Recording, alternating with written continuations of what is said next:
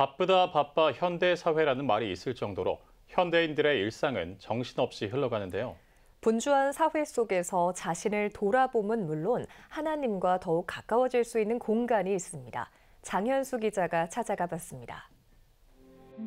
잡념을 흡수하는 자연의 고요, 묵상하는 듯한 콘크리트의 살결. 계단을 타고 올라가면 옥상에는 하나님과 인간 사이에 하늘만 놓인 하늘 채플이 있습니다.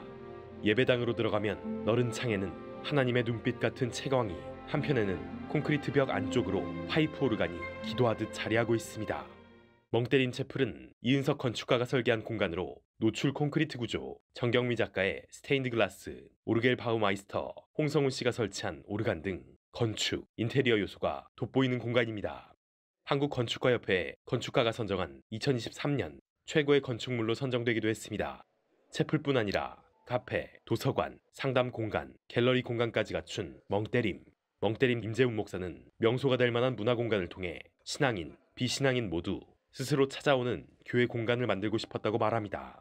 기존 전도 패러다임을 바꿔보고 싶은 마음이 담긴 겁니다. 때림체풀로 명명하고 있는 것은 쉽게 인식하고 찾아오도록 하기 위해서 그 이름을 전면에 내세운 거예요. 나아가 찾아오게 하는데 그치지 않고 공간 안에서 쉼을 경험하고 복음을 느낄 수 있도록 하는 것이 멍때림 공간의 궁극적 목적입니다.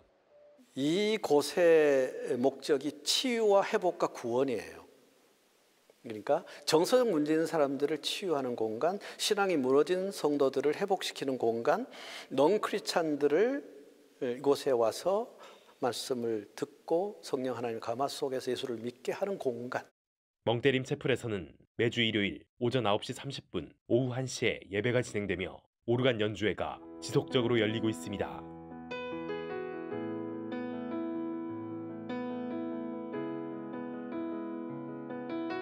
잠시 생각을 쉬어갈 때, 마음속에 공간을 낼 때, 임재를 느낄 수 있지 않을까 싶은 지금입니다. CTS 뉴스 장현수입니다.